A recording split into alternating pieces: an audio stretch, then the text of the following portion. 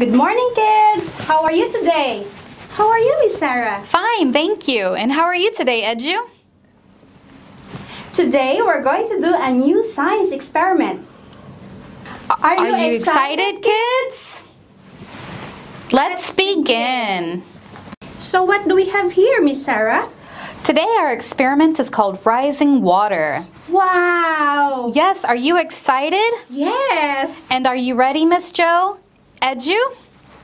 Great, let's begin. All right, first we need to get our materials. We have a plate, a clear glass, a small candle, matches, and food coloring and water. Now, the number one thing we need to remember today is have an adult with you. All right? Okay. First, Miss Joe, can you help me put the water into the plate? Sure.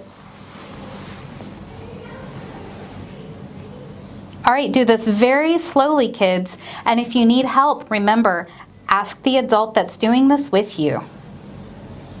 Fantastic. Okay, next, we are going to take our small candle, okay? And we are going to place it in the middle of the plate. Miss Joe, do you mind to help me with these matches? Sure, miss. All right, this is going to be the important part where an adult needs to help you. Please have the adult with you light the match for you.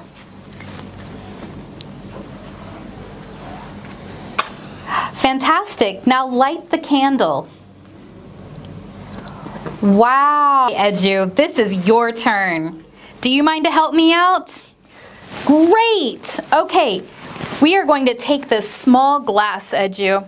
We're going to turn it upside down like this wow. and put it over the candle. And then we're going to see what happens after that. Are you ready? Okay. All right, can you help me now, Edu? Great. Okay, can you please take this glass and you're going to turn it over and you're going to put it on top of the candle.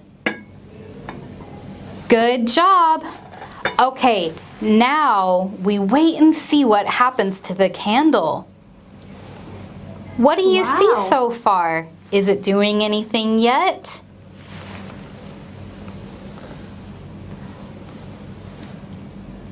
what is the flame doing?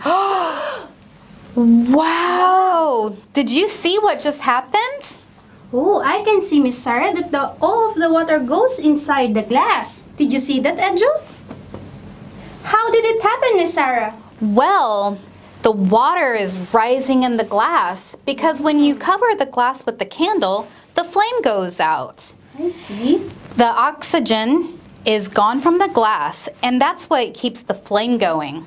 The lack of oxygen creates low pressure inside the glass, creating a vacuum.